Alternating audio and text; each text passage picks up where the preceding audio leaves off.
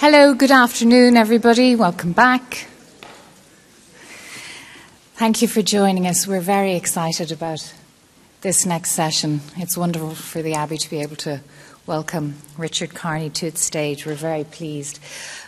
Um, I'd like to first of all introduce uh, uh, Peter Crawley, who's going to in turn introduce Richard Kearney to you. So, uh, Peter, as you know, is chief theatre critic of the Irish Times and acting editor of Irish Theatre magazine. He's also a journalist and columnist, indeed, often staunch critic of the Abbey Theatre. He recently curated Voyage and Return, a symposium on Irish theatre and diaspora, for the Dublin Theatre Festival and for Trinity College, supported by the Gathering. Will you please now welcome Peter Crawley?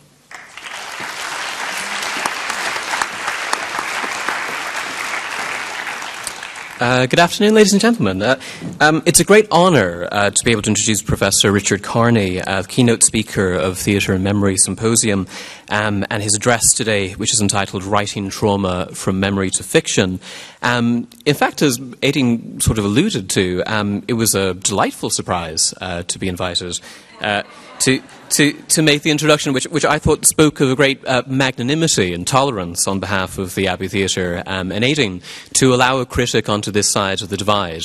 Um, uh, it's a, a, a, spirit of, I think, of um, charity and optimism because I think if you look at my academic um, philosophical record, um, it's a job for which I'm afraid I'm dangerously underqualified.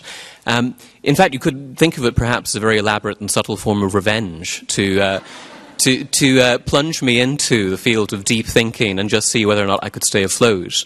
Um, it's, I'm afraid, not testament to sort of my critical reasoning or uh, the capacities of my intellect, and much more a glowing testament to Richard Kearney's writing um, and his sharp and, I think, inviting intelligence that he writes on such a range of complex issues um, and allows even people like I access um, to any idea that he feels is worth imparting. Born in Cork, educated in Glenstal Abbey in Limerick, and having studied in University College Dublin, Montreal's McGill University, and the, and the University of Paris, where he gained his doctorate while encountering uh, renowned uh, philosopher Paul Ricoeur, uh, about whom he's written extensively, and Jacques Derrida. Professor Richard Kearney has established himself in Ireland and abroad as a renowned cultural critic, historian, essayist, commentator, a venerated figure in hermeneutics, a branch of contemporary philosophy concerned with textual interpretation. He has long inhabited the role of public intellectual, bringing an inquiry mind to pressing social matters. Um, I think one example of that might be his work in Ireland in the 1980s and 1990s, uh, working alongside figures such as John Hume and Mary Robinson. Um, work in which he helped to articulate new ways of thinking about what it meant to be Irish. Uh, so much so that when the Good Friday Agreement was declared in 1998, um, and Catholics and Protestants were said to be able to choose their citizenship, um, it wasn't difficult to see, to see uh, Professor Kearney's contribution to its own philosophy.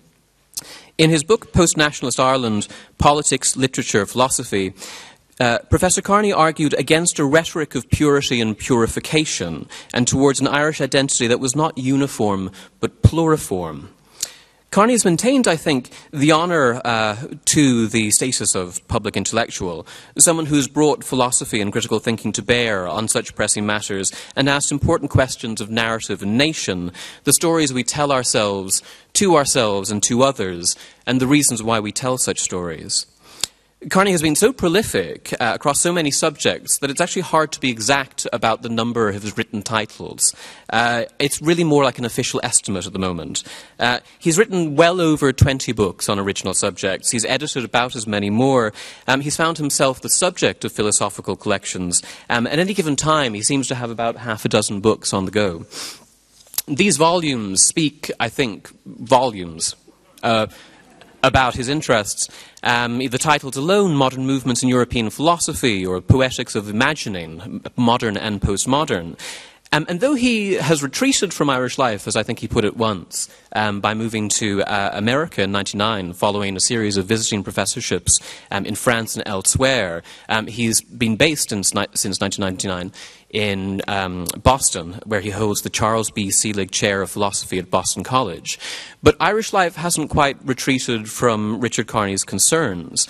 Um, his analysis of an always changing Ireland has found expression in such works as trans transition, narratives in modern Irish culture, post nationalist Ireland, as I mentioned, or more recently, navigation, his collection of essays on Irish subjects which spanned 30 years of inquiry across many forms, cultural and artistic.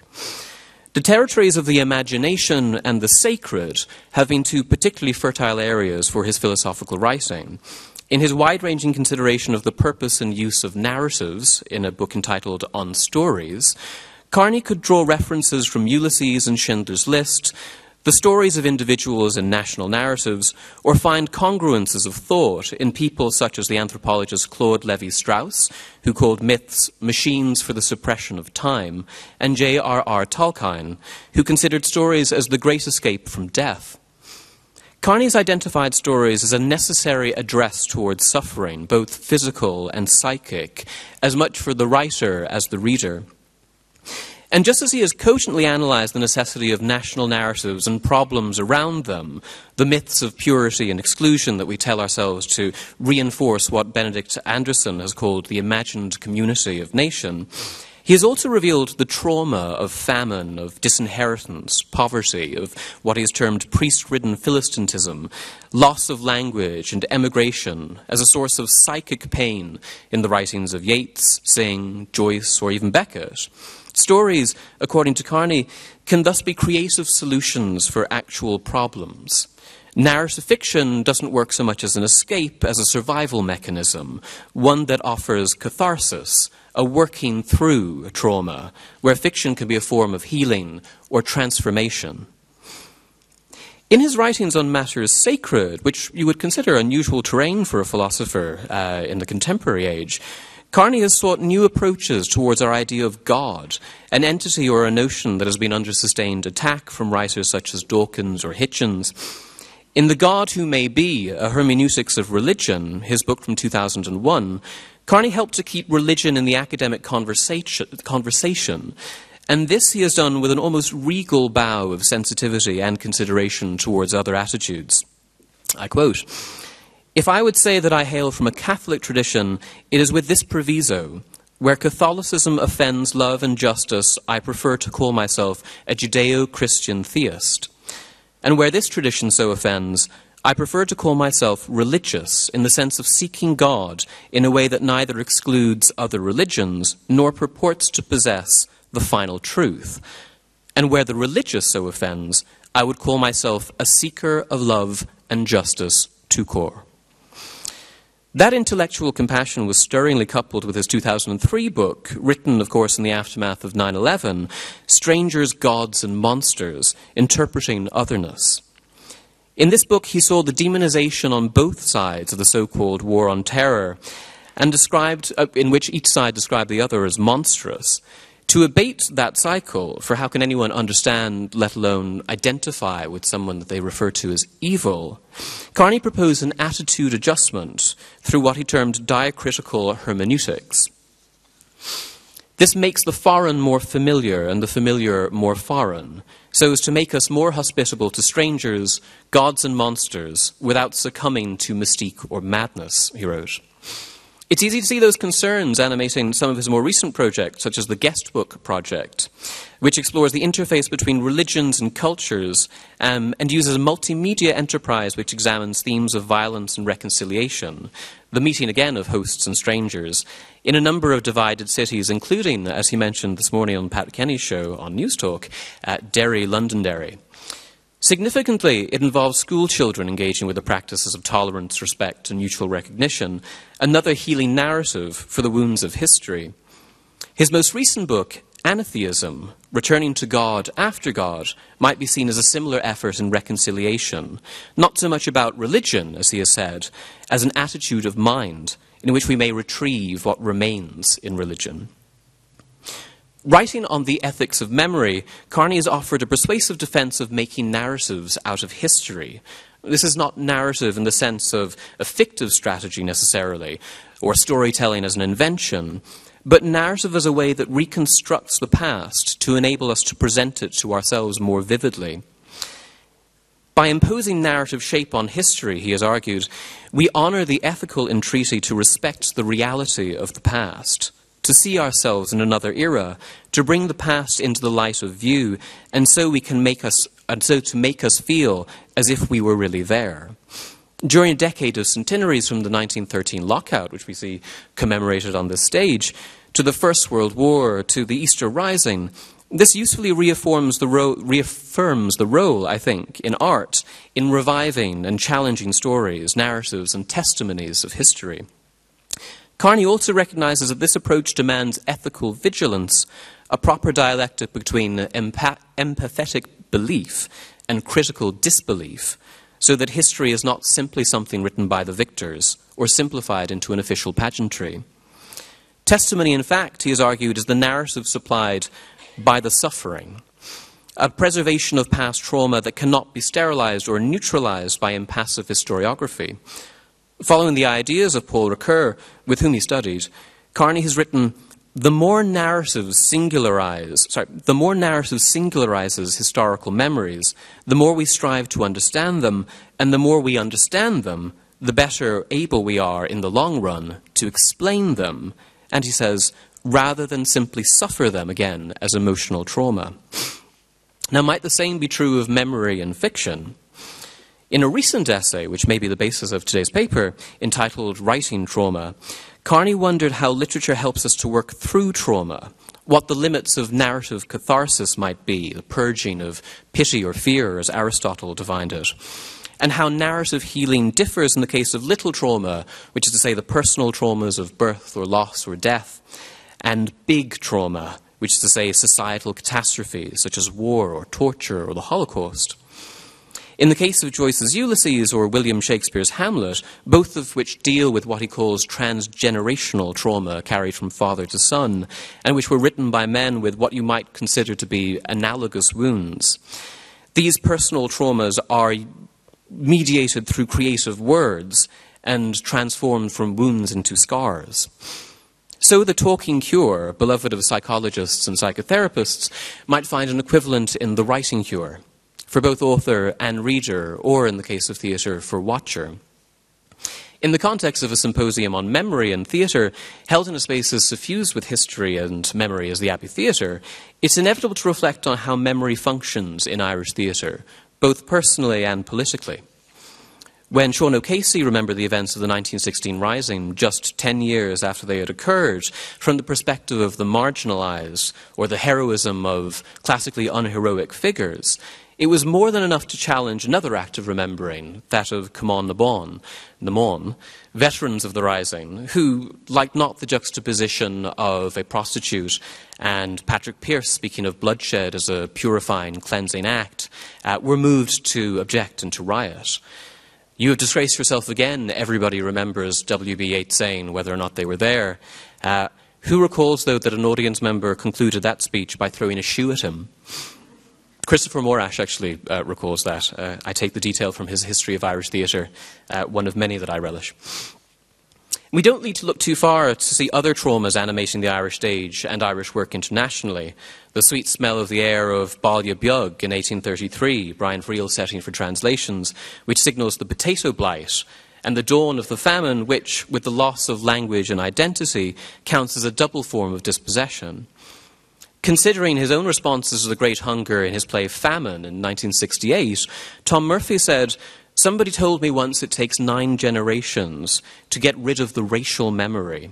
While I was researching famine, I asked myself, Am I a student of famine or a victim of famine? I finally decided that I was a victim, and it was from that viewpoint that I wrote the play. At recent revivals of Famine from Druid Theatre Company, or indeed the Abbey's recent production of The House, it's from that viewpoint of victimhood, perhaps, that the audience may still watch, and perhaps why it resonates so deeply with us still.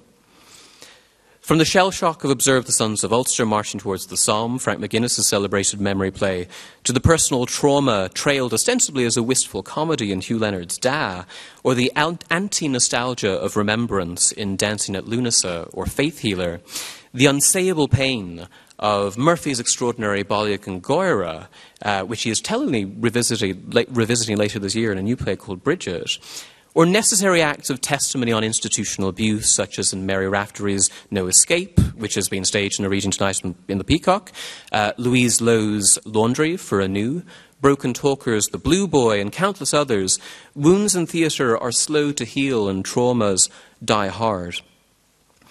Kearney's writing has given us, I think, useful ways of mediating these enduring conflicts. I was struck by an argument, in fact, reported on yesterday's symposium, um, in which the playwright and politician Mannix Flynn voices concern about how testimonial theatre or memorials uh, on issues of institutional abuse may count as premature closure, that it was too soon, in other words. And it put me in mind of something that Richard had written about catharsis, a useful explanation that catharsis was not understood as closure or completion, Rather, that narrative catharsis was about an impossible story. Storytelling which forever fails to cure trauma, but never fails to try to heal it. It's tempting to see that the memory of trauma in life and art is more of a process than an exorcism, much like the peace process. Not something that resolves in a product, but something that we forever adhere to, that we forever return to. That's something also that it appears to me the theatre is distinctly well equipped to do. Theatre deals in memory because theatre is memory. It requires memory for creation, for performance, and it aspires to exist in our memory forever afterwards. It's not stored in a retrieval system so easily, other than our own failing Bockety recall. The experience of reading Richard Kearney on literature or theatre or film or culture or society is to encounter, as I say, a generous and insightful intellect one that makes complex ideas accessible even to people like me, who find the term phenomenological hermeneutics hard enough to pronounce, never mind fathom. I came to his work, I must confess, daunted by its immensity and its broad range of concerns, but I plunged into it, I have to equally well confess, as a fan. He brings, to us, he brings us to familiar places sometimes, to stories and texts with which we are quite familiar, and yet he seems to discover something wholly new within them. He traces the course and responsibility of human imagination and the redemptive possibility of putting ourselves in the place of others, something that the theatre is also very well equipped to do. And he traces the scaffold of fiction and narrative as ways to better hold up our realities, to make them comprehensible to ourselves, and to allow us the possibility, perhaps, of improving them. His appeal is to the head and to the heart. It's to see things differently, it's to think things differently, and perhaps to remember things differently. Ladies and gentlemen, it is an honour to give you your keynote speaker, Professor Richard Kearney, in his new paper, Writing Trauma From Memory to Fiction.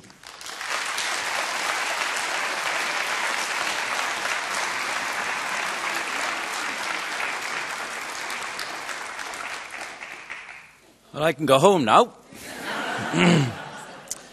um, thank you, Peter. Thank you, thank you, thank you, thank you, Peter for an, an, an incredibly generous uh, introduction. And um, in many respects, what I have to say will supplement much of what you have just said. And you have opened it up uh, to a larger canvas than I will be able to um, address, which I'm, I'm, I'm very glad about. Um, linking what I will now say in a much more limited way to what's going on in drama, in contemporary Irish drama, the references to Tom Murphy, that wonderful um, citation about the nine generations that we have to work through, and we're not sure whether we, we're commenting on it or we're victims of it.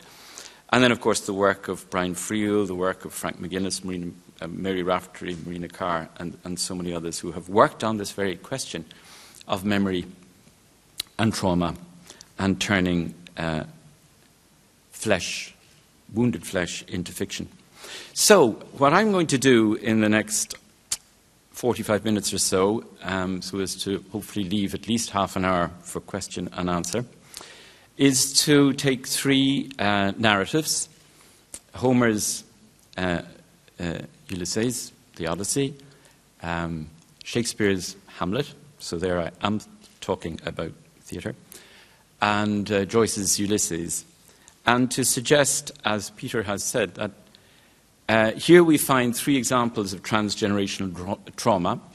Each begins with a wound and attempts to transform it or transfigure it into a scar that can be lived with, writing as a scarring of wounds. Wounds, wounds being basically incurable, timeless, as Freud said, um, and unsayable, ineffable, unthinkable, unimaginable. That's what wounds are. Trauma is Greek for wound. And then scars are the attempt to somehow register that uh, in the body as felt or as written in a body of writing. So I'll start with Joyce and then the origin of, of uh, Ulysses and then work back through Hamlet and uh, Homer before returning finally to Joyce and opening it up for discussion.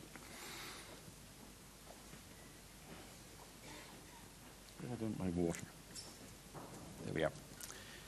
So, James Joyce, in a letter to his brother Stanislaus on November 13, 1906, announces that he's just started what he calls a short story. It's going to be called Ulysses. He came up with the idea, he explains to his brother, because of a memory triggered by a recent mugging in a street in Rome. He'd just been fired from his job at the bank and drunk all his severance pay, which should have paid the rent and helped provide for his one year old son, Giorgio. But on his way home, Joyce was robbed and left lying in the gutter, destitute, despondent, and bleeding. In fact, it, had, it took place just outside the Abbey Theatre. And it was that very moment, sorry, it was at that very moment that he suddenly remembered something that had occurred just outside the Abbey Theatre. That is, being assaulted several years previously in Dublin, June 22, 1904, and rescued from the gutter by a man called Hunter. I quote, a cuckolded Jew who dusted him down and took him home for a cup of cocoa. In true Samaritan fashion, as he added. This repetition of woundings triggered a lost memory where an immigrant Jew came to the rescue of a wounded Dubliner and planted a seed of caritas in his imagination. Now, several weeks after the Rome mugging, Joyce and Nora were given tickets to an opera whose librettist was called Blum, B L U M. This second moment of happenstance after his humiliating fall in a Roman side street furnished the name of his paternal protagonist, Leopold Bloom. Thus was born the longest short story ever told, Ulysses, the tale of a father and a son traversing wounds on the way to healing. So, my subject this evening is the writing cure. And my questions are the following How might literature, or theatre perhaps in particular, help us work through trauma? How far can narrative catharsis go, and what are its limits? Catharsis being this healing function that Aristotle talks about in the Poetics. The function of drama is catharsis, purgation of our passions of pity and fear by distilled pity and fear. We'll come back to it if we have time. And finally, how might narrative healing differ in the case of little trauma, the existential wounds of birth, loss, and death, which we all experience, and big trauma, war, torture, catastrophe? So, my chosen example, as I mentioned, is Joyce's Ulysses, itself a story which rewrites two other stories Shakespeare's Hamlet and Homer's Odyssey.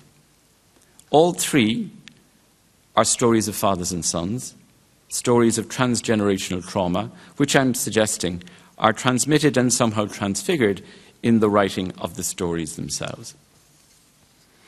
In the opening of Joyce's Ulysses, we're told by Haines that it's all about the father and the son idea. I quote, the son striving to be atoned with the father. And it doesn't take long for us to realize that the son is Stephen Telemachus and the father is Bloom Ulysses. Their paths cross in the middle of the book as Stephen exits and Bloom enters the National Library here in Dublin. It's a pivotal scene in which Stephen expounds his complex but central theory of the father son idea in Hamlet. Stephen's thesis is that Shakespeare wrote Hamlet the year his son Hamlet died at the age of 11, and his own father, John Shakespeare, was dying. The play, therefore, is about the transmission of mortal trauma between fathers and sons. In short, according to Stephen, Shakespeare wrote the book of himself in order to avoid the madness of melancholy, in order to properly mourn, to use Freud's distinction, his father and his son in a way that he was unable to do in life. The play itself, then, serves as a symbolic working through of an otherwise irresolvable crisis in which a father, King Hamlet, commands his son, Prince Hamlet, to do something impossible. That is to remember what cannot be remembered, to tell something that cannot be told, a double injunction, an unbearable burden, an impossible story, the double bind of trauma.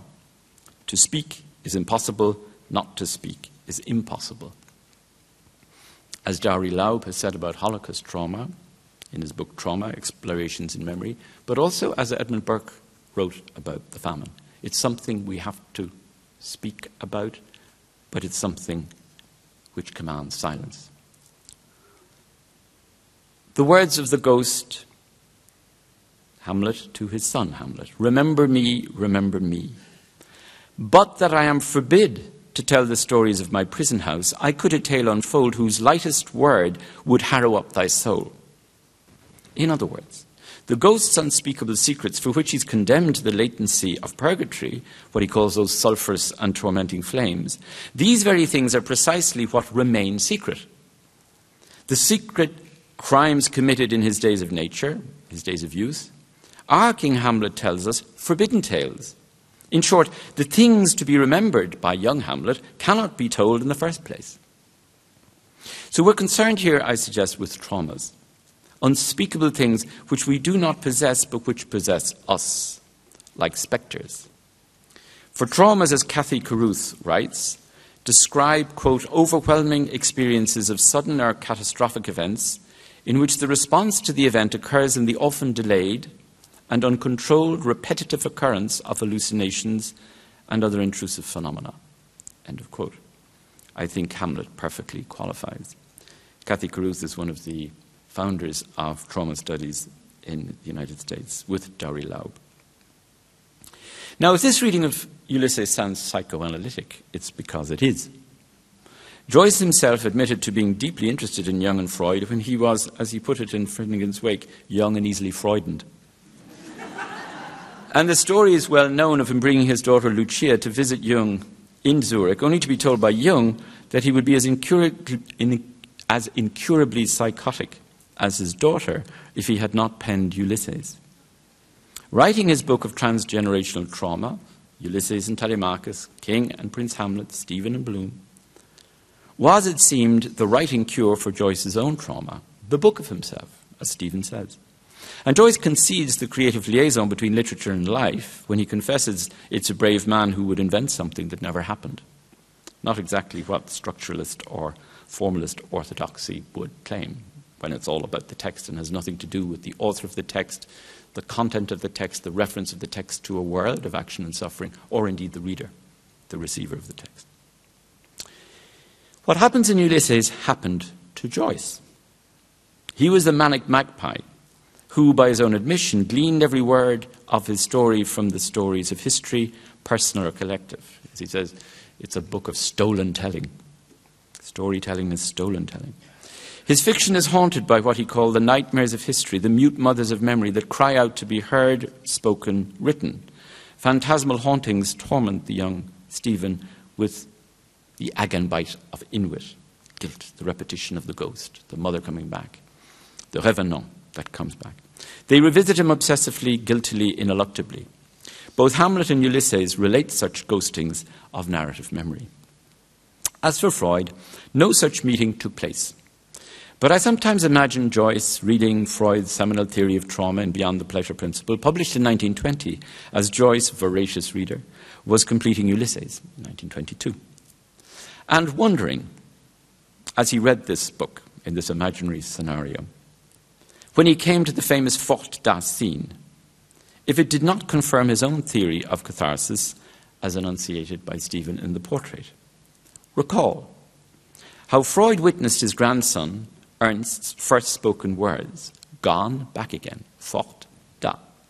While playing with a wooden cotton reel, which he made vanish, this is the little Ernst, his grandson, under his curtained cot, and then reappear again in imitation of his mother's coming and going from the house, a cause of unbearable separation anxiety for the young child.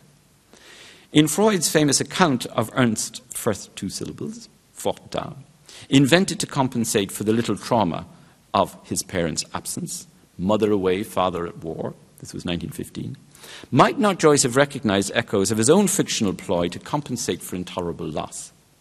In other words, might not both Freud and Joyce have witnessed the magical power of words to work through Durcharbeitung, as Freud puts it, to work through wounds, albeit at very different levels. Working through as writing through. And more precisely, when Freud wrote of his grandson's loss of his mother, was he not also writing about his own loss of his daughter? The same person, Sophie Freud. For Sophie was significantly Freud's favourite daughter, who died tragically in January 1920, several months before Freud, devastated, absolutely devastated by the loss, wrote the Fort da scene. The scene, incidentally, is inserted in the book's narrative quite abruptly after Freud's initial outline of a series of examples of World War I trauma. And this interpolation of a little trauma, his grandson's separation anxiety, into Freud's sep- uh, seminal account of big trauma, unspeakable violence at war, opens up, I think, the whole conversation about relations between ordinary and extraordinary trauma. How do you understand a trauma victim, a Holocaust survivor, for example, if you haven't been uh, in the Holocaust? Some people, uh, including Claude Lanzmann, would say you can't. Adorno, after Auschwitz, who can write poetry, who can tell stories, who can imagine what happened? Nobody. To try to do so, to try to create narratives or catharsis or any kind of healing is an abomination. That was Lanzmann's rebuke to um, uh, Schindler's List, Spielberg's film. We can come back to that later. But it seems to me very interesting that Freud interpolated, quite out of the blue, just after his daughter's death, um, this description of a little child playing with a spool of cotton and in so doing creating a drama. I mean, if Ulysses was the shortest story ever told, this is even shorter. Two words, fort da. And in that reenactment of a drama, the child repeats the separation and then the coming back of the mother. There's a, there's a performance uh, healing in this sense. And so, by interpolating that, he's also interpolating his own trauma. Freud was not at war, but he's now able to listen to trauma victims because not only has he got a good imagination, a good empathic imagination, as Peter mentioned earlier, but also because he knows he's lost his daughter. And so he realizes that everybody, in a way, can listen to the trauma, the wounds of others, because we are all, at a certain level, traumatized. Birth and death are traumatic experiences. We'll come back to that.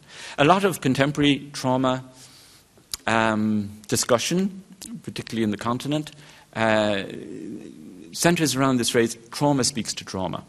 If you don't speak from your wound, you can't actually listen to the other person. So, if you haven't been the subject of rape or massacre or torture, how can you hear or even begin to heal others? My suggestion here is that the mirror play of Sophie Freud's disappearance, enacted between her father, Freud, and her son, Ernst, is a microdrama of transgenerational trauma with a small t. It signals a crossing of identifications where Freud is at once Sophie's father and son, writing the book of himself, as Joyce puts it, so as to mourn a departed loved one, a lost object, Freud's language, namely Sophie. His grandson and he himself are mourning the same person. My corollary suggestion is that Joyce may have found writerly resonances in Freud's therapeutic narrative of Fort da, the longest short story ever told, echoing the shortest. This hypothesis is, of course, pure fantasy on my behalf, but Joyce, as you all know, was a voracious reader, and he does have his Finnegans Wake narrator boast, I can lose myself any time I want. And incidentally, in his uh, poem, um, The Holy Office, he declares himself as a healer of, of catharsis. Myself unto myself to give this name, catharsis purgative. Um, Joyce was a doctor who never finished his medical studies. He wrote books instead, happily for us. So, to return to Ulysses. When Stephen tells us that Hamlet is the story of Shakespeare's father son relationship. He's echoing his relationship with his own father, fathers, Mr. Dedalus and Bloom, his surrogate father. And this story within a story is, please bear with me, itself a parody of Homer's original story of Ulysses and Telemachus, from which, of course, Joyce takes the title of his work. In other words, we're dealing here with stories within stories within stories, narrative as catharsis. But not narrative catharsis understood as closure or completion, as a cure. No, there is no cure for wounds. Rather, narrative is impossible story, storytelling which forever fails to cure trauma but never fails to try to heal it.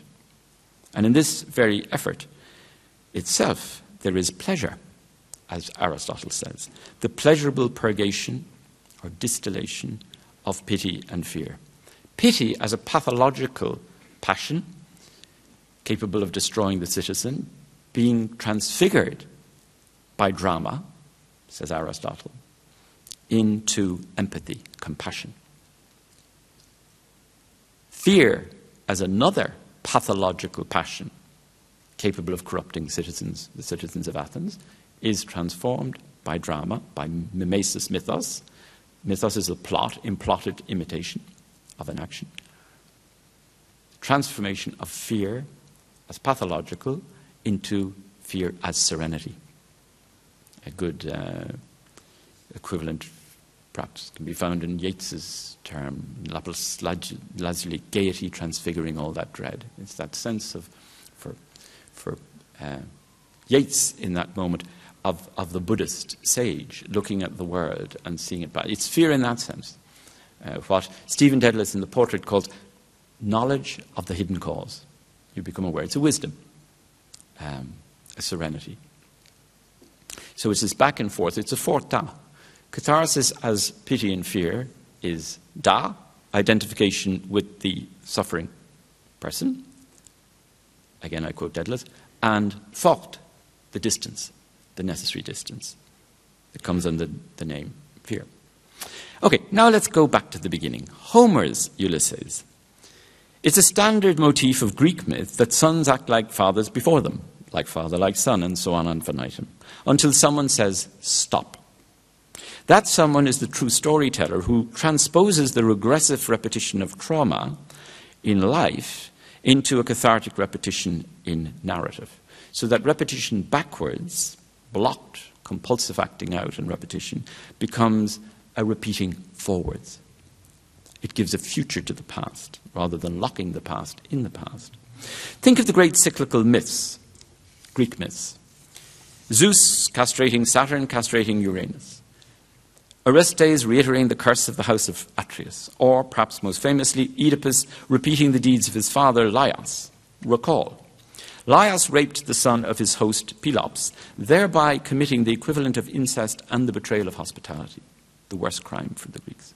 His double transgression replicates the curse, or ate, of his own father, Labdacus, and is repeated by Oedipus in the next generation. So the continuing narrative lineage comes under the heading of the House of Labdacus and involves a recurring acting out of unspoken traumata, i.e., wounds. In this case, over three generations, not like Tom Murphy's famine, seven generations. But actually, when you go deep into the Greek myths, it's more than three, it's four, five, six, seven, eight, etc.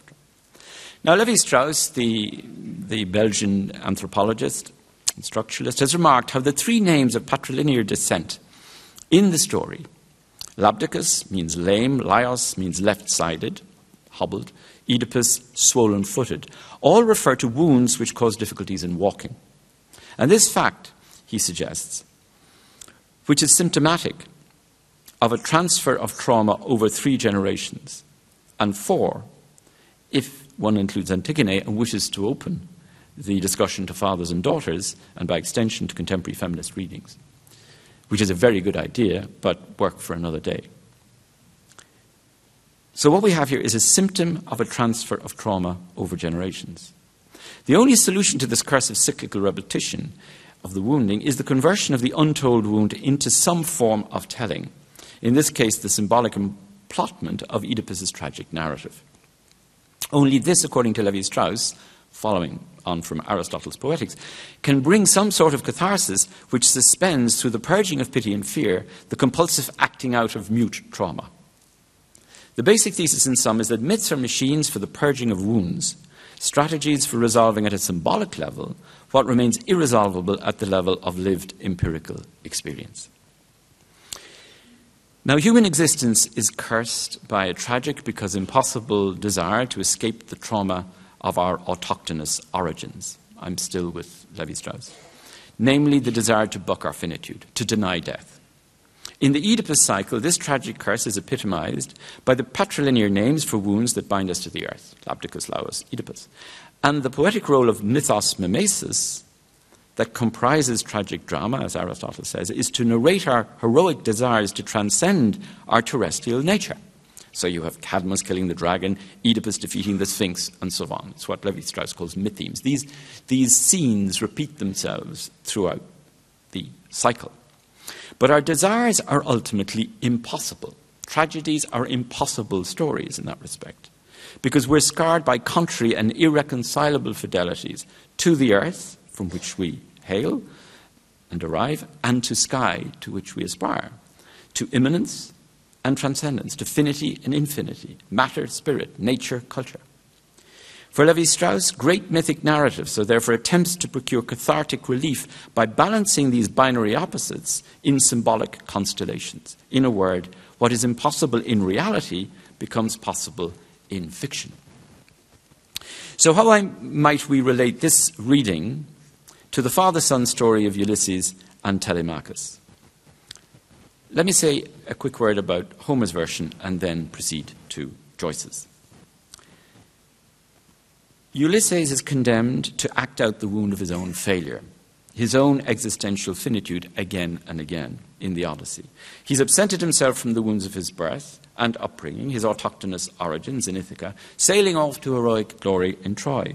But his attempts to become an immortal warrior are constantly countered by reminders of his mortality, the brutal carnage of Troy and subsequent calamities. We could give a long list. The breaking of the lure of Calypso is also central to this increasing disillusionment. Originally leaving Ithaca as an aspirant hero, Ulysses returns as a beggar a lowly outcast only recognized by the smell of his flesh by his dog Argos, and the scar on his thigh by his nurse Eurycleia. It is significant that Eurycleia only touches her master's scar after a detailed narrative about how Ulysses received the original wound in a childhood hunting incident with his grandfather Autolycus. Yet another example of transgenerational trauma. Note that this narrative working through, leading up to the final healing touch of, the, of, of Odysseus by the nursemaid, takes all of 77 lines. Point being that if there is a healing, there's no cure for wounds, but if there's a healing of scars, first they have to be exposed. Nobody has seen Odysseus' scar. They have to be exposed and touched. There has to be something touching about the healing sensory and sensible, carnal, embodied, and something narrative, linguistic. In that sense, it's an ambidextrous healing. We hear the story of, of Odysseus, which we have not learned up until this point, including the origin not only of his wound, but of his name. Odysseus means the bearer of suffering, the bearer of pain. That's been hidden from us, the reader, and from Odysseus himself. So the revelation that comes, the partial revelation, is through this double handed act of uh, touching the scar and also narrating the wound. It's interesting, it's just a note, but that uh, Homer plays with the roots of the word Argos. Uh, the dog is called Argos, but Telemachus is, expects his father to come back as this great triumphal, you know, quasi divine hero. And, and the word uses uh, is argentine, hence our word um, in Latin, argentum, argent in French, silver, that which shines. He's expecting a glorious body and spirit to return, but what actually turns up is this stranger, this, this mendicant, this wounded beggar. Telemachus, expecting the triumphant victor to return, victor, a triumphant victor to return, does not at first recognize his own father. He's so fixated on his great expectations of the Father that he does not see the scar on his body. He's blinded by illusory imagos, projections. Delusions abound. When he finally acknowledges that the mortified stranger before him is in fact his real father, they sit down together and eat, sharing simple food of the earth, squatting in a swineherd's den, is how they finally come together as host and guest. Hospitality is antidote to the hostile curse of fate. Of course, the same word, xenos, can mean, as in all Indo-European languages, uh, an enemy or guest. Uh, as hostis in Latin originally meant, meant friend, uh, guest at the table, and then became, became enemy. And in fact, for a very long time, uh, had both sense. Guest, guest in, in the Germanic languages likewise. So there's this movement, impossible movement, from hostility to hospitality. And of course, Joyce in Ulysses is going to play on this because he takes the name of the swineherd in the humblest of dwellings, therefore, Eumaeus, and plays with the inn of Emmaus in the Christian story, where Christ breaks bread with the two disciples and is recognized again in touch, in taste, um, not in uh, some glorious revelation on the road to Emmaus, even though he explicates the scriptures, nobody recognizes him. Joyce plays on this. And then, of course, it becomes the cabman shelter, where Bloom and Stephen come together in a moment of at least temporary hospitality. All right. The word Homer uses for scar in this pivotal scene, Book 19 of the Odyssey, is ulin. This is a term often associated in Greek literature with trauma, as, for example, in Plato's dialogue Gorgias, ulas entosomati, hypotraumaton where ulin means both trace and scar. While the wound, trauma, is timeless, the scar appears in time. It's a carnal trace which can change and alter over time, though it never disappears. Scars are written on the body, they're forms of proto writing. And narrative catharsis is a process of working through such carnal traces. Put simply, while the wounds remain timeless and unrepresentable, scars are the marks left on the flesh to be seen, touched, told, and read. Scars are engraved wounds that may or may not be healed. I shall return to this distinction below. And if we have time, I'd be interested in also mentioning and, and addressing the work that's being done on self cutting, for example, um, and indeed piercing and tattooing as rites of passage where adolescents in confusion need to write on their bodies.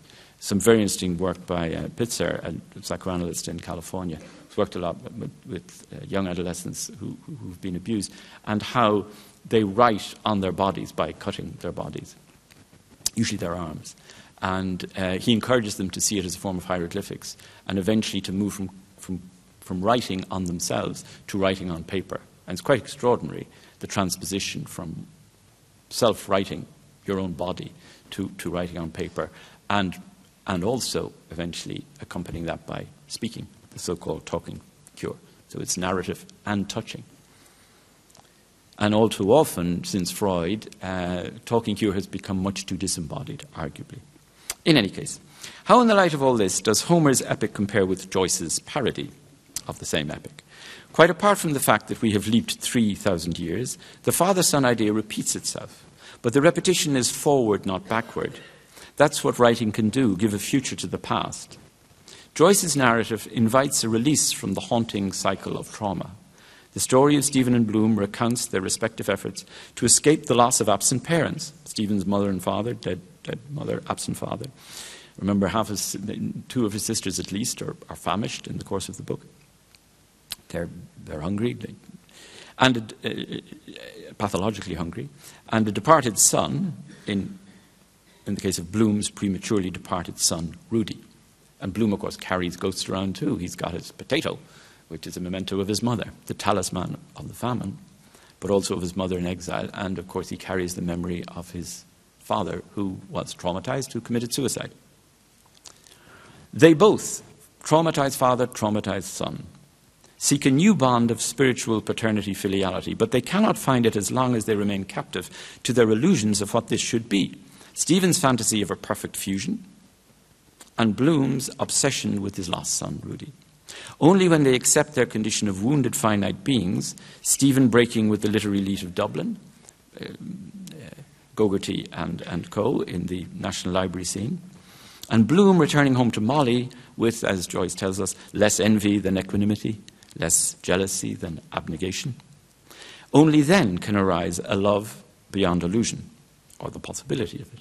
Surrogate father and surrogate son exchange stories of failure and mourn lost illusions in the famous Ithaca exchange. Such love beyond loss is only a hint, of course, a glint in Molly's maternal eye, but enough of a narrative catharsis, perhaps, to give the reader hope in another day, in beginning again. Child man weary, man child in the womb, the phrase Joyce uses for Bloom curling up at, in the bed at Molly's feet. And of course, as Joyce says in a letter to Valery Larbaud, euh, Ithaque est stérile, Penelope le dernier cri.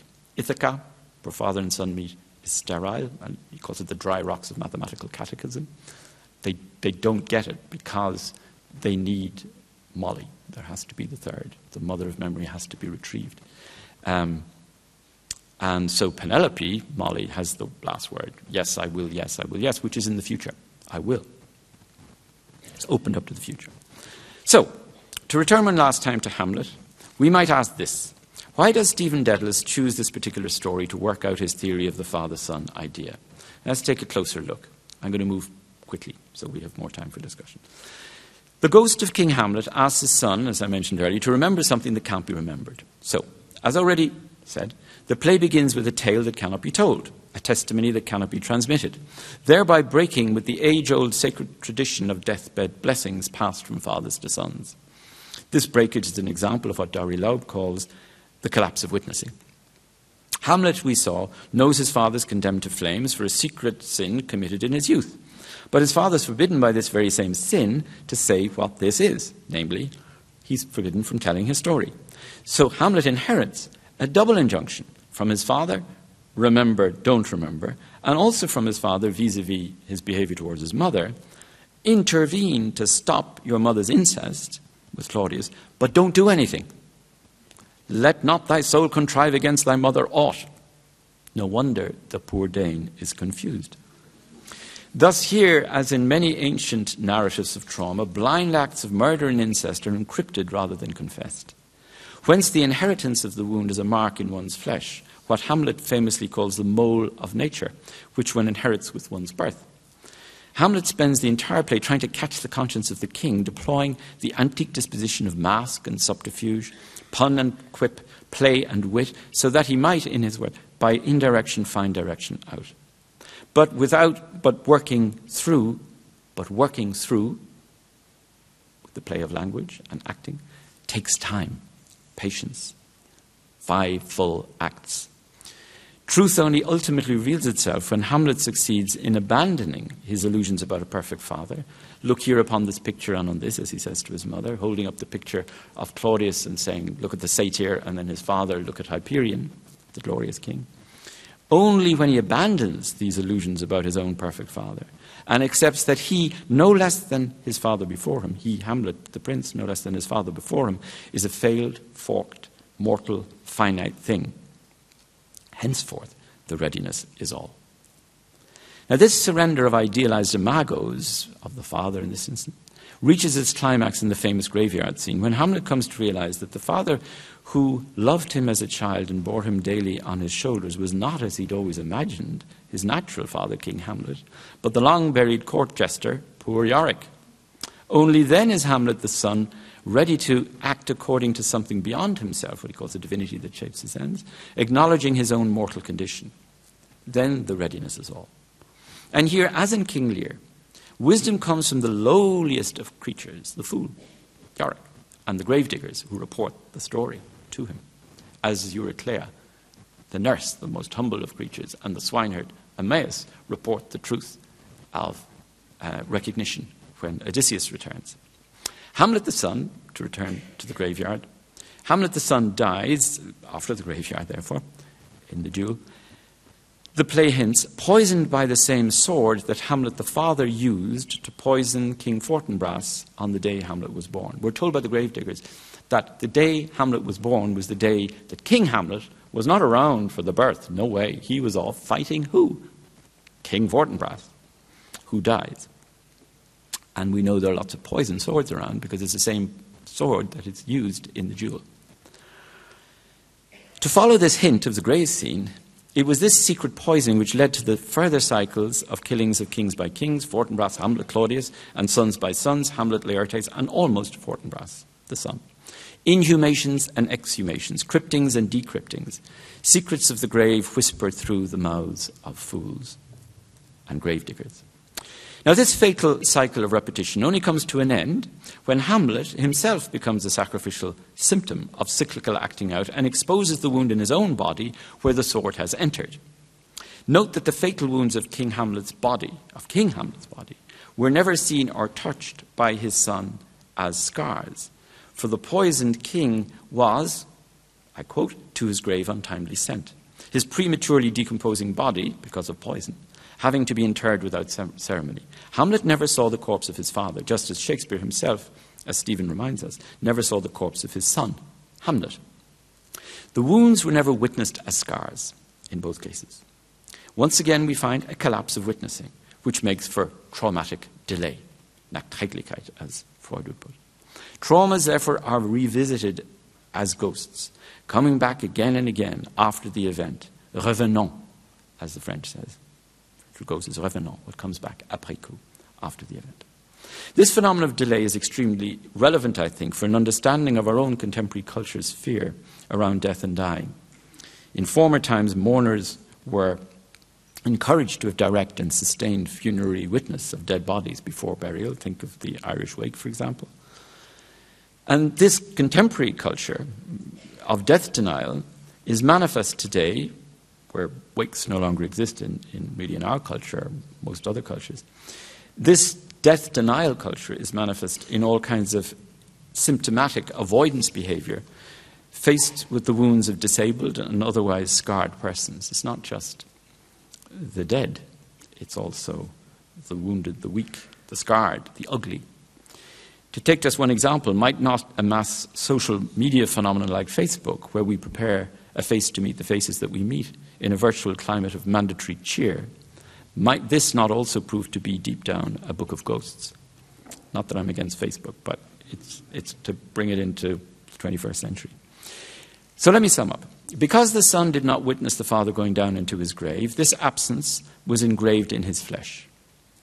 The loss, the lack, the gap of the empty grave, the missingness, all this was encrypted as a suppressed right of memory, waiting five full acts of procrastination to be retrieved. This is perhaps the reason why T.S. Eliot described Hamlet as an artistic failure. It's also the most written about drama in Western culture. And it's also the reason, perhaps, why Andre Green, the French psychoanalyst, describes Hamlet as the greatest literary performance of unconscious trauma and recovery, to which psychoanalysts have been endlessly drawn like kittens to a ball of wool reminds me of the fort da, the kid playing with the wool. There have been over 150 works of psychoanalysis written on Hamlet, uh, and you can multiply that by 100 when it comes to literary criticism. In short, fathers and sons, sons and fathers. Eventually, it's Hamlet's own sacrificial surrender which enables the play's other fatherless son, Prince Fortinbras, to live on. To survive the, the fatal curse which ghosted the whole revenge cycle for generations. And of course, Hamlet was, was originally a revenge story. It, it's Shakespeare who turned it into a tragedy. The story that could not be told, the impossible story, is finally told, though it took five acts, and is an appalling failure, dramatically, according to T.S. Eliot.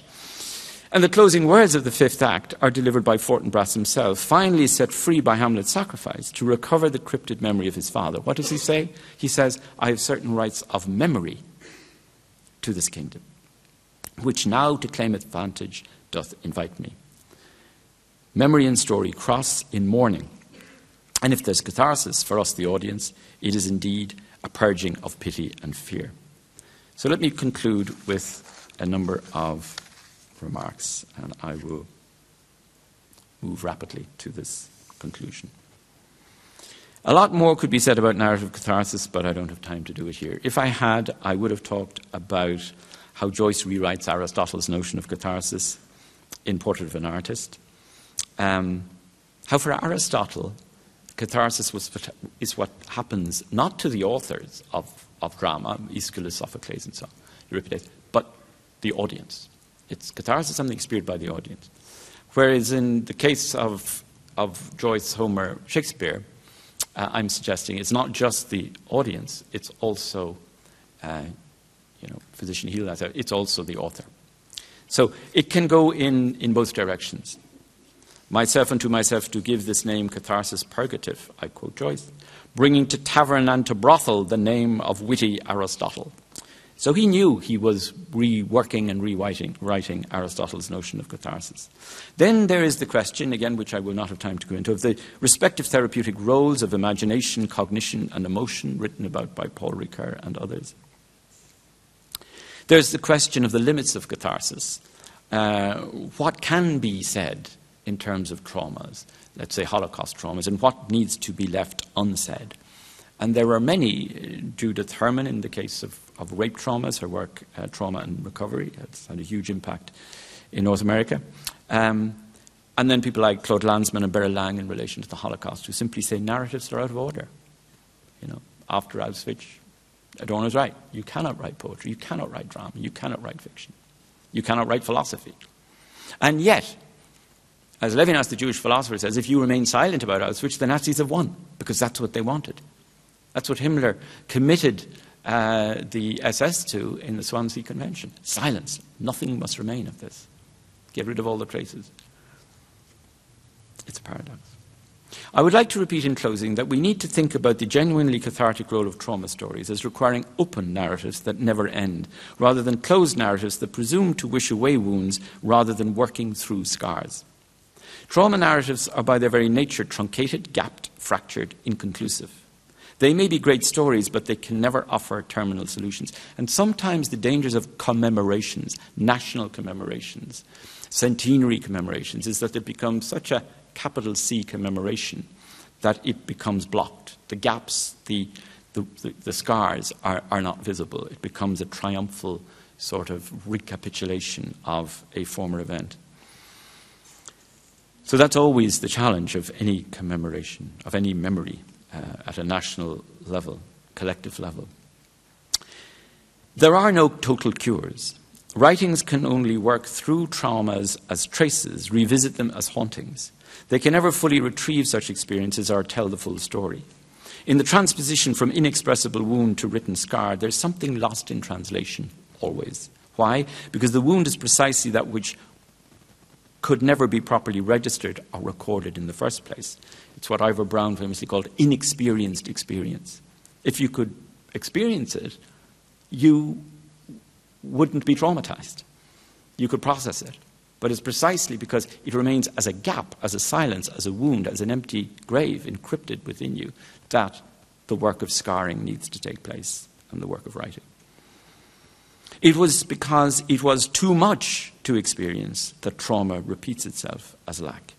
Trauma narratives are scabs over the cavities left by inexperienced experience. Recall, in conclusion, very briefly, our three stories. The trauma inherited by Hamlet, namely his father's murder by Claudius, on top of his father's sin, committed on Hamlet's birthday, is something hinted at in the play. It's never openly stated. Moreover, the fact that his father's death and burial are missed by Hamlet, who was away in Wittenberg, is a further token of inexperienced experience.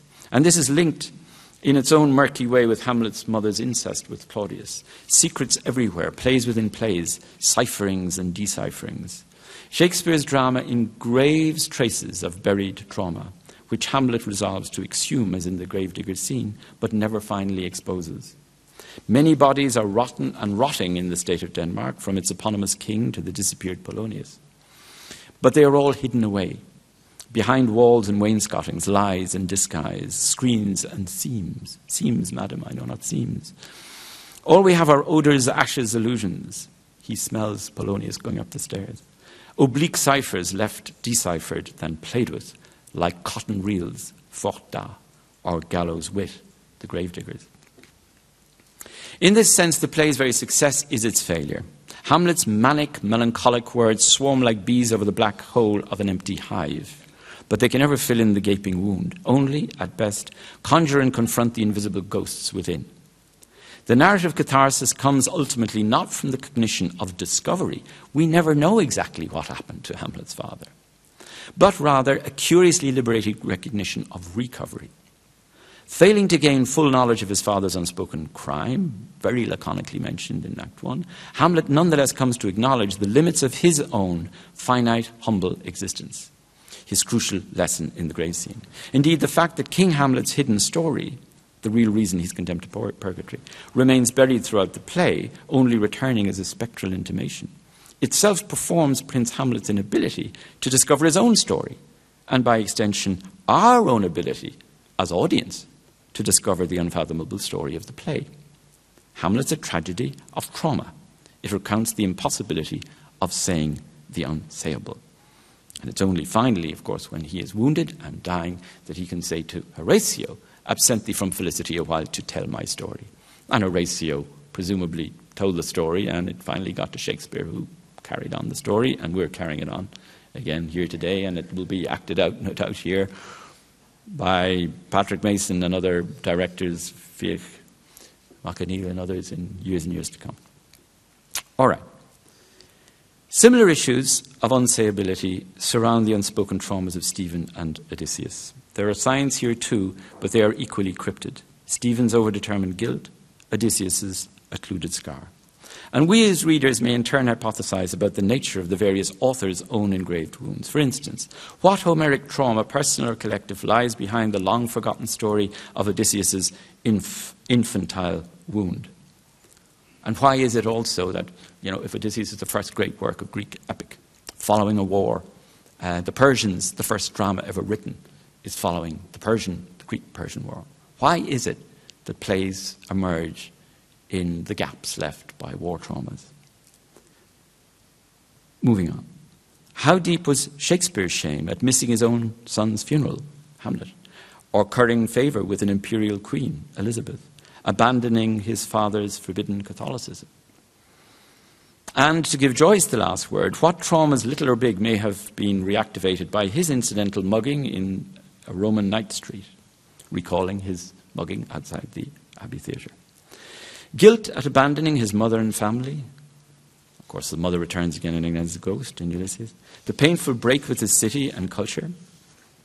Or perhaps, farther back still, the untold historical rupture inherited from the Great Irish Famine with its extinctions, evictions, and exiles. And I'll just end with a note on this. I would like to go on longer because here we are in Dublin and the famine is our wound. Um, but I'll confine myself to a paragraph. This last transgenerational wound is rarely acknowledged by Joyceans, except for most recently great scholars like Luke Gibbons, um, who has done fascinating work, and Maud Ellmann on these hidden traces, these almost invisible scars uh, regarding the famine in, in Ulysses. But for all its neglect since the publication of Ulysses in 1922, almost 100 years of neglect, it is, I suspect, a key aspect of Joyce's native unconscious. Joyce himself was born in, 19, sorry, in 1882, less than 30 years after the Great Hunger ended, a catastrophe that split Ireland into pre and post famine history, witnessing a million dead, uh, another two million banished or in exile, and almost a third of the population uh, between 47 and 1852. Loss, loss, loss. Banishment of the heart, banishment of the home. Joyce's father and grandfather lived through this unspeakable horror, though, like most witnesses who survived at home or abroad, the pain of an or bad times, as it was elliptically known in Irish, went largely unwritten at the time. So if Stephen vows at the end of a portrait to forge in the smithy of his soul the uncreated conscience of his race. Is it not logical, if not necessary indeed, that this massive gash in the national psyche would return in his next novel, Ulysses, as an irrepressible haunting? a stammering tale demanding to be heard. This is, I submit, what happens. The references are oblique, but they are per- pervasive. If I had time, I would cite here in detail the work of, of commentators like Luke Gibbons on this. But they are pervasive, from Stephen's dead mother's phantasmal returns to Bloom's frequent allusions to hunger, soup kitchens, and potatoes. He even carries, as I mentioned earlier, a potato in his pocket as a talisman. You don't know whose thoughts you're chewing on, muses Bloom. Famished ghosts. Ah, I'm hungry. Or as the daughters of Erin, also called the daughters of memories, sing in the Circe episode, quote, potato, preservative against plague and pestilence, pray for us. The allusions are multiple, if characteristically muted. Much hermeneutic digging is required, here as in Hamlet's graveyard or Odysseus's wounded childhood. Throughout, wounded authors call for readers, traces for interpretations, hints for guesses, ciphers for thoughts. To sum up, Joyce's narrative of his native psyche shows that past wounds are never completely past, no matter how much one prays to the potato. The psychic palimpsest of personal and historical abandonment finds expression in the ineradicable wounds of what Stephen calls banishment from the heart, banishment from the home. Joyce identified similar experiences of sundering, what he calls sundering, breaking, separating, in both Shakespeare and Homer, whose traumatized heroes are also indelible scars of exile and injury. They carry these indelible scars of exile and injury. Like his literary predecessors before him, Joyce grafted stories onto histories, forgotten, repressed, occulted, or stolen histories. His narratives were secreted from those nightmares of history which, by Joyce's own admission, made his writing the last word in stolen telling. Ulysses is, I wager, a tireless literary effort to awaken cathartically from such historic nightmares by, resort, by restoring forfeited stories and bringing ghosts back to life. It is, in short, a work of mourning and recovery, a writing which translates wounds into scars, flesh into fiction, a working through of trauma. Thank you.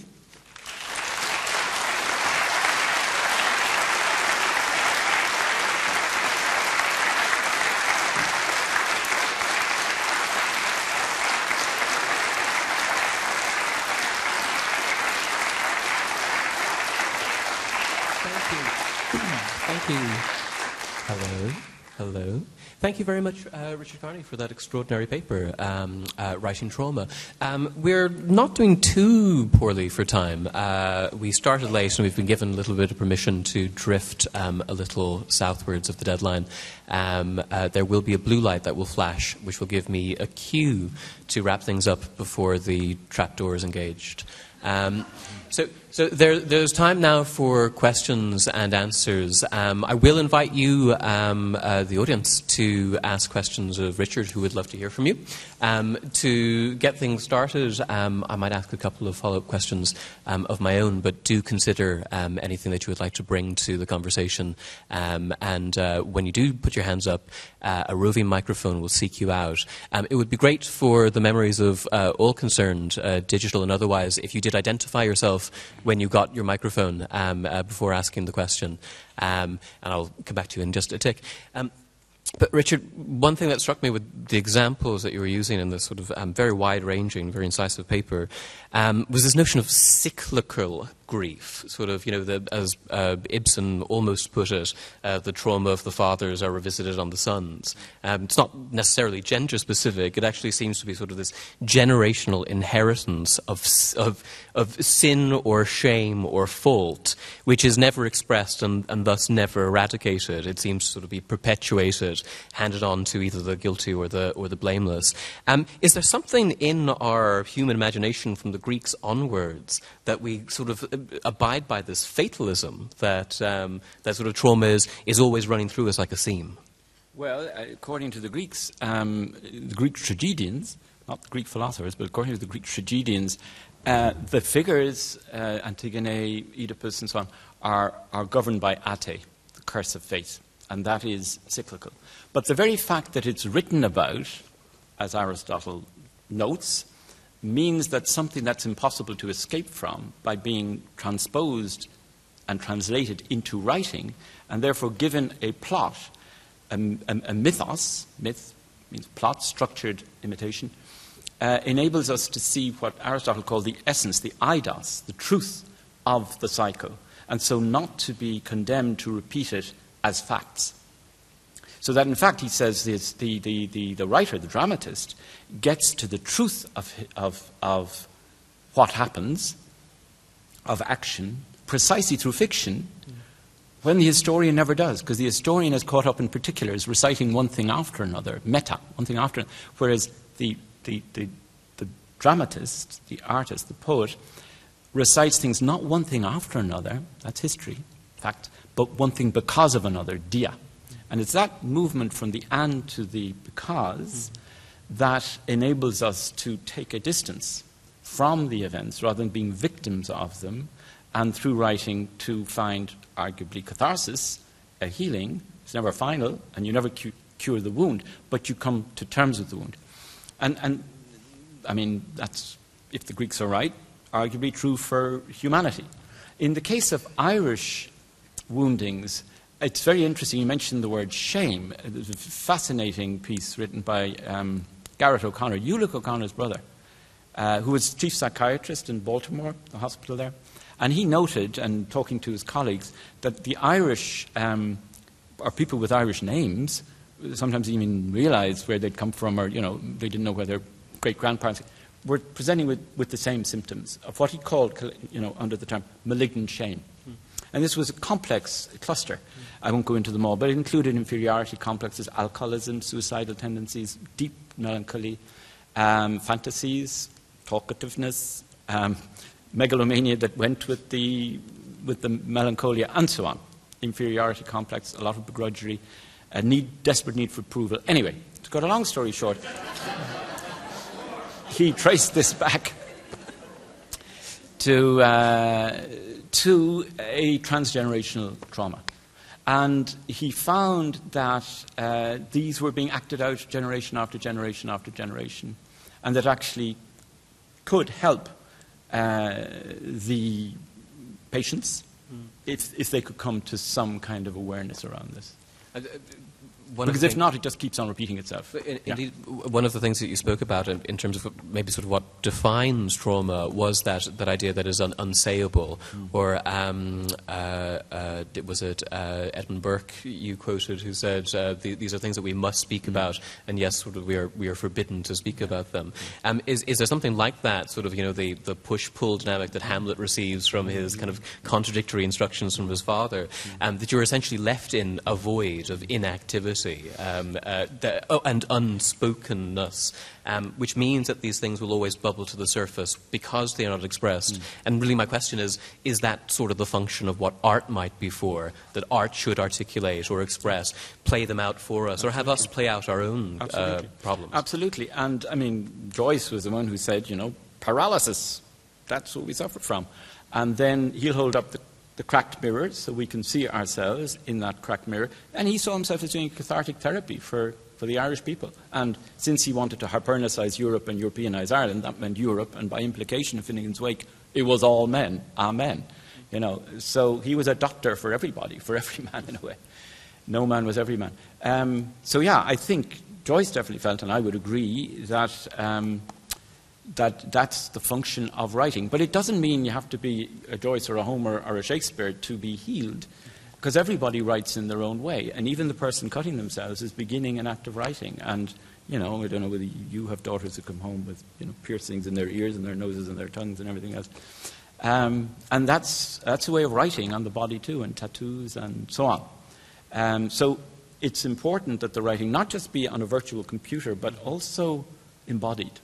You know, it is a scarring. Scarring is a, is a very essential moment of healing because if it heals too quickly and you get the story or the cure or the solution, Freud tried to do that with Dora and she just got worse.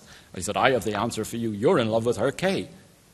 She wasn't. She was in love with Frau K, but that couldn't be said. Freud got it wrong. How could any woman be in love with a woman rather than a man?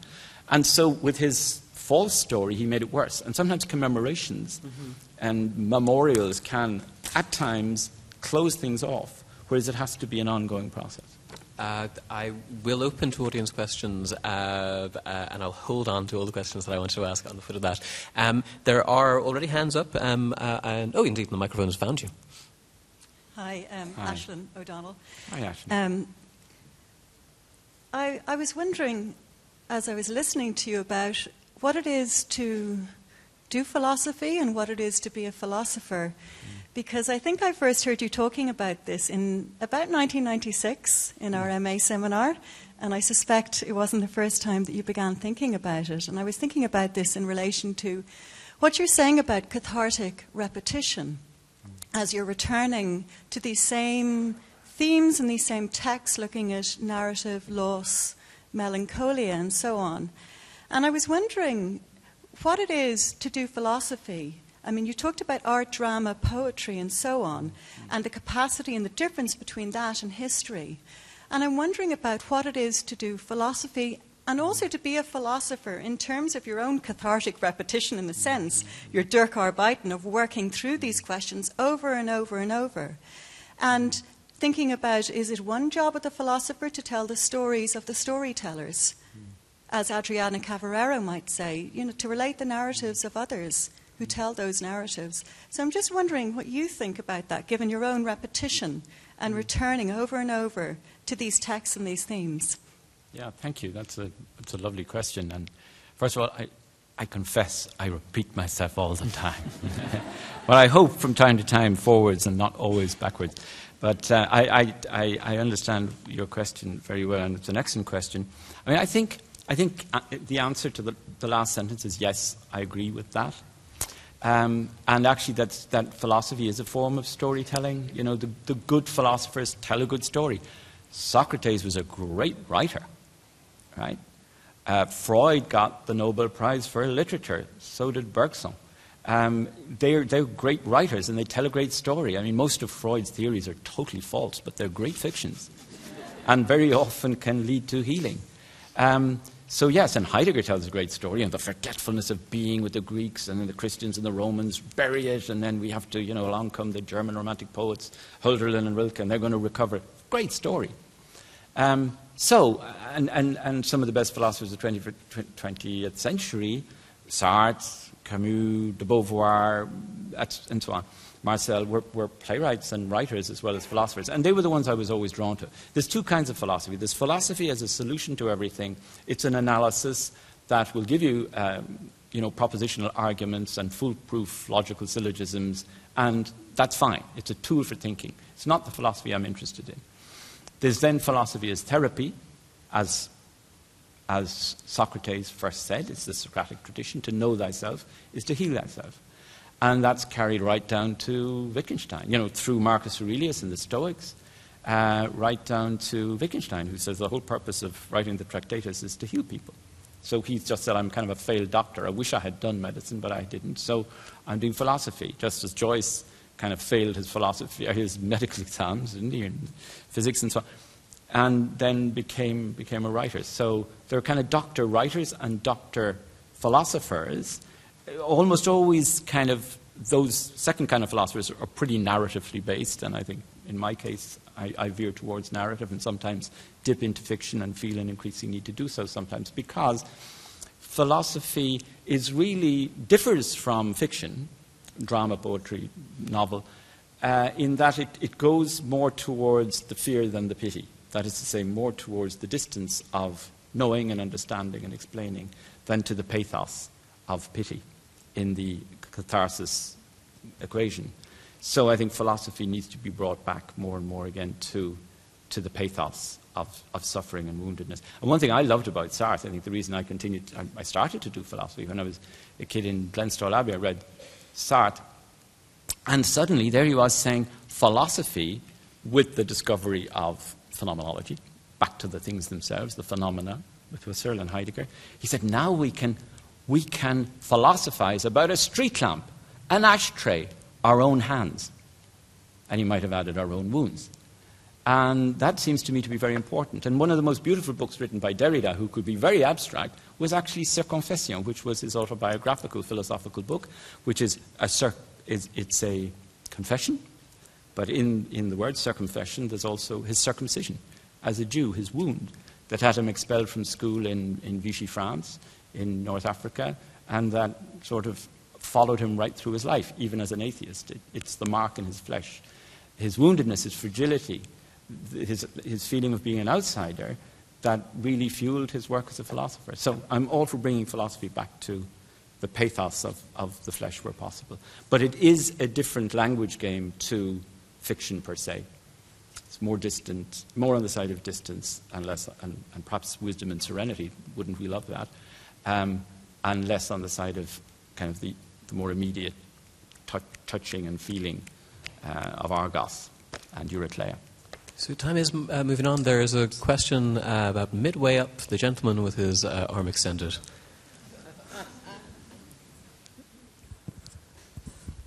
Hello, Richard. Uh, uh, if you were to give advice to uh, the state, or indeed advice to the Abbey Theatre, or advice to artists around around commemoration, you know, around the fixation of dates and around centenaries, and particularly your work uh, uh, where you seem to be you seem to be on the side of fiction rather than um, relativism or, or, or historical account. Could you just maybe issue a diktat from the Abbey stage and how we might should proceed. First of all, don't invite this guy to review any more of your plays, right? they, they, don't invite me, I just show up. uh, I've never read any of the reviews, but I, will buy your collected works now, so, Peter. Um, That's a contract. Do you know, I really, I'm, I'm very honoured and flattered by the question, but I can't think of anything, you know, except as a philosopher, perhaps any, any play, any drama that can get the right balance between pity and fear. You know, if it becomes too much eleos, pity, then it's going to become sentimental and it's going to become um, lachrymose and soft centered and so on. I mean, you think of a commemoration that can become just that. You know, 1916 commemoration, the commemoration of the walls of Derry, the commemoration of Lark, and the commemoration of the famine. It can go in that direction. There are famine memorials that are incredibly pathetic in the sense of the pathos of eleos, and not at all, at all enough distance. Whereas, for instance, one that works, and there are several examples of this actually in the Famine Museum that was curated by Niamh Sullivan in Quinnipiac University that was opened last year where you've, you know, you've got, now I'm talking painting, but Michael Farrell, Brian Maguire, Alan O'Kelly, um, Bobby Ballagh, some really extraordinary pieces of testimony, in this case visual testimony, sometimes visual, verbal actually, because text is used, that gets the right balance. It's not sentimental and kind of a tribalistic uh, fusion um, and an emotionalism because that's very easy to provoke. You put enough images on the wall and everybody's crying or else reaching for a gun.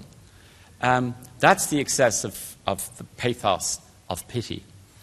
Um, so you need a certain kind of distance. Brian Tolle gets it really right, it seems to me, in his Irish Famine Memorial in New York, where he transplants a, um, a ruin from Slievemore in Achill, the deserted village, and reconstructs it in, you know, Battersby in, in downtown New York, right beside the Jewish memorial and looking out onto Ellis Island. So it's kind of this open space, open to the weathers, so that it's changing all the time. And then inside, he's got these various inscriptions by Lord Trevelyan and Daniel O'Connell and so on. And it's an amazing mix of you're in it, you're suffering, but you're also distant, you're understanding. Um, so what those are, you know, what they're doing with, with visual art and with sculpture, I suppose, in the case of Brian Tolle, or architecture in famine memorials, that would be the challenge for Irish writers. I think Tom Murphy, you know, did a pretty extraordinary job in that regard. The work of Brian Friel and, you know, Mary Raftery and so on. I mean, I, I, unfortunately have, because I've been away in Boston, haven't seen many. I think my, last night was the first time I was in the Abbey for something like 15 years. So I'm kind of out of it.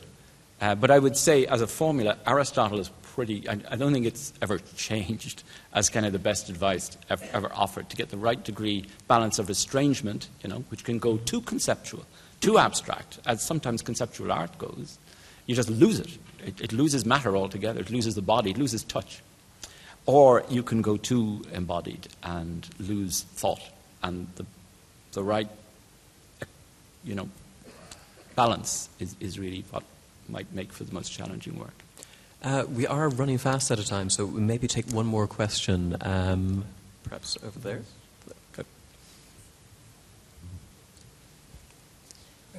Sorry. Um, yeah, I wasn't sure if it was me. Okay. Whoever has the conch, uh, the, the microphone. Okay. I think actually. Sorry. I'll keep going. Okay, sorry. I we started. Um, We started 10 minutes late, we're about 10 minutes over. oh, are we? Oh, I thought it was half past. Okay. All right, all right. Okay. Uh, th- uh, did the question arise? Yeah, no, I go ahead. Okay, please. Oh, yeah, sorry. Um, just, uh, yeah, very brief, but uh, just a couple of questions. Um, you, you concentrated, yeah, will be brief, concentrated very much on the physical scars and wounds. Um, um, could you say something about the invisible scars? I mean, like, just in relation to that. Um, the other things, uh, you're probably aware of a lot of other responses to earlier Irish literature, um, 19th century. Um, Bram Stoker is there's work um, in relation to Bram Stoker also Synge's play by the Western world, uh, Beckett's Endgame in relation to the famine as well. I just wonder if you're aware and if you have any thoughts on that. And then also in in, in commemoration. Um, you've mentioned about uh, being cautious about um, very, you know, sort of state and and uh, sort of official and and too respectful sort of commemoration. Um, is there a danger also in responding to the past of maybe going to the other slight extreme of a certain because we have difficulty with some of the uh, past experiences and because of maybe a response to to the life of the state um, uh, that it maybe degenerates into mockery. Yeah. Okay, well, very, very briefly, um, I'm sorry that has to be the last question, and, and I, I will try to be as brief as I can. But anyway, uh, if I could divide them into three um, invisible scars rather than visible scars, I mean both. I didn't just mean scars on the body, I meant uh, psychic scars, invisible scars, absolutely. Um, so, in fact, I was primarily talking about, about psychic, psychic scars. Uh, and I would just add one sentence. Sometimes when a wound, physically or metaphysically, is covered up too quickly, it doesn't undergo a necessary process. I've forgotten the exact medical word now. It'll come back to me in a moment. Uh, which is for the tissue to swell in such a way that it fills the cavity. If the skin covers op- over too quickly, without the fibrillation, I think it's called, taking place, it has to be opened up again. And the air has to get back into the gap, the pocket, because it becomes poisonous. So it's a very delicate, scarring is a very delicate process of healing where time and space are absolutely crucial. That's just the first point I would make, psychically and carnally, somatically. The Bram Stoker I'm not aware of, but would love to know more. So maybe you can, you can share your, your knowledge on that. I'd be very interested. And lastly, commemoration.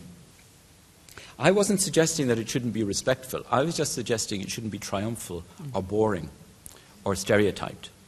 I mean, it's as if you should come along every so often and knock down, you know, Nelson's pillar and rebuild it. I mean, I'm not pro or anything. I'm just saying, you know, you need famine memorials and anything, you know, holy statues.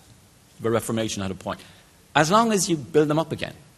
Um, and, and so commemoration sometimes is most respectful when it remembers but also leaves something unremembered, something still to be remembered, still to be translated, still to be written, still to be inscribed, recorded, embodied. And it's that kind of um, balance so that the commemoration doesn't go into the upper case too quickly. Um, and, and yes, of course, if it does, then the predictable uh, reaction very often is mockery. And that's not enough because that kind of cynical reaction to any form of authority, any form of nationalism, any form of the state can become very puerile and very um, not only disrespectful but actually destructive. So, boring triumphalism and boring cynicism and mockery are equally to be avoided, where possible. To remember in the right way. You can remember too much and you can remember too little. So, it's getting the middle way where possible. It, it's heartening to, I think, consider the theatrical history which has tended to avoid uh, boring triumphalism or boring cynicism and tended to sort of work in the margins to deal with sort of personal and emotional truths and sort of large events. Uh, Plough the Stars being kind of a, a, an obvious example. You, you said before that um, individual lives aspire to the condition of narrative, that the, the unnarrated life is not worth living. I think uh, you, you adapted Plato's maxim. And perhaps that addresses Fiach's question a little as well, the, the notion that fictive strategies or narrative strategies applied to historical events are a way of not of making them ersatz or fake, but rather something truer, something that resonates with us on a, a kind of a personal level. Um, I, I'm afraid that really is all we have time for before they open the gunge tanks. Um, uh, thank you very much for uh, uh, attending this fantastic keynote. Thank you very much, Richard Kearney, for your excellent paper. Thank you. Thank you, Peter.